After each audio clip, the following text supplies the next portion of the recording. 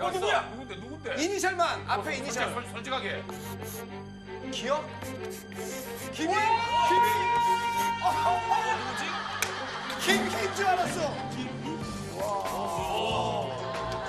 왜 호동이야? 아 나는 진짜 호동이 때문에 JTBC 자체를 안 오라고 했어. 방송국 자체를. 어, 내가 아는 형님을 나가게 되고 어떻게 섰는데 비슷해? 뭐야, 이게 이상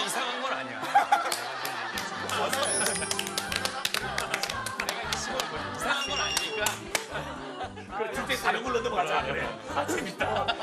한번 들어보죠. 진짜 나도 궁금하다. 그래. 저번에 아는 형님을 나왔을 때 나 나름대로는 뭐 나쁘지 않았다 재밌었어. 재밌었어. 나 진짜 재밌었는데? 근데 이 이번에 섭외가 들어오고 나서 우리 수만 쌤하고 술자리가 있었어. 어, 그거예요? 아, 설마 그거예요?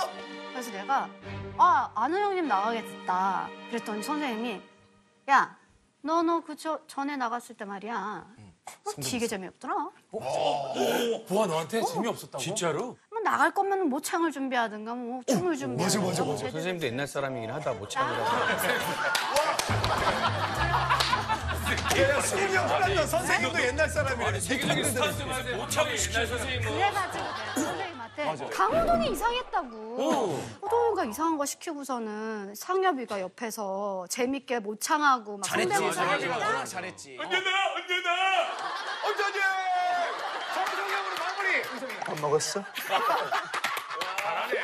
잘하네. 내가 뭐만 하면 받아주지도 않고 내가 진짜 스타킹을 나가본 적은 없지만 이런 마음이구나.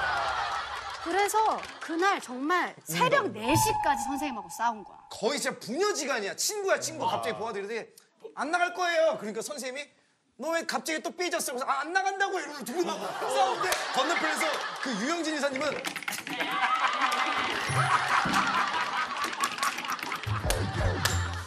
그러면 잠깐 보아야.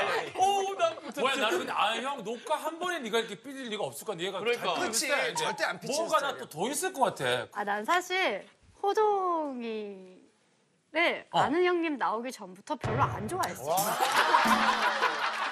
마이너 미. 형 오늘 진짜. 진짜, 진짜. 형 마이너미. 수고했다. 말만 잘 챙기라. 조만간 회사 옮겨야 되겠다. 멀리 너무 호동이가 처음 처음에 SM에 들어와서, 다 같이 모여가지고 아, 단합대회. 어, 밥을 먹은 적이 있어. 기억하지 호동아? 어.